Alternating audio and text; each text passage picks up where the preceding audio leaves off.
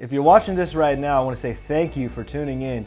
And I know that you want to know how to go to heaven. Well, the Bible says this For God so loved the world that he gave his only begotten Son, that whosoever shall believe upon him shall not perish, but have everlasting life. Did you know that God loves you?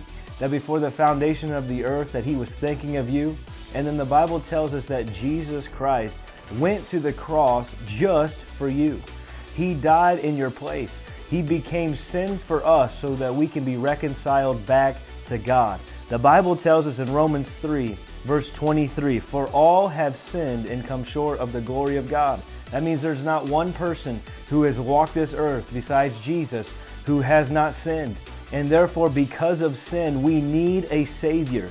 And Jesus is the way, He's the truth, and He's the life. He's the one who paid the price that we could never pay because he had a perfect life of without sin. His blood was perfectly shed for you and for me. And that's good news. That's what the gospel is about. It's good news that you don't have to go to hell because 2,000 years ago, Jesus paid the price. Now you're probably wondering, how can I receive this gift of salvation? Romans 10, verse 6 says this But the righteousness based on faith says, Do not say in your heart, Who will ascend into heaven? That is to bring Christ down, or who will descend into the abyss? That is to bring Christ up from the dead. But what does it say? The word is near you in your mouth and in your heart. That is the word of faith that we proclaim.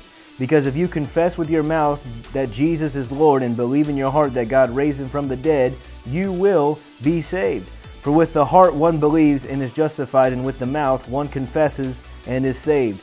That's Romans 10 6 through 10.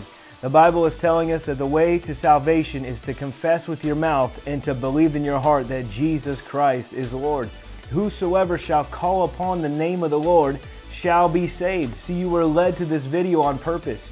You were led not by accident. It wasn't just because you saw a reel or a short or whatever and now you're watching this. No, God has called you, God is leading you, and God wants to save you. The Bible tells us in Ephesians 5, verse 8 For at one, one time you were in darkness, but now you are in the light of the, of the Lord.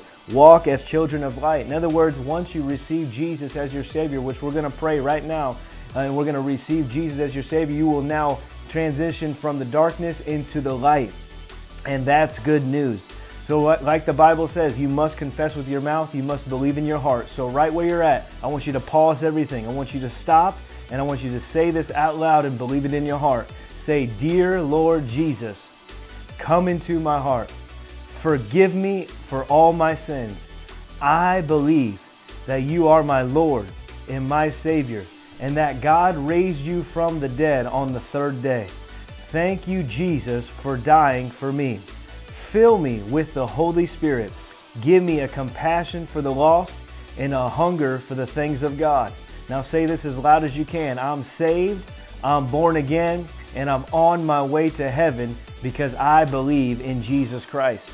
Now, if you just said that prayer, I want you to know that the Bible says in 2 Corinthians 5, verse 17, that if anyone is in Christ, he is a new creation.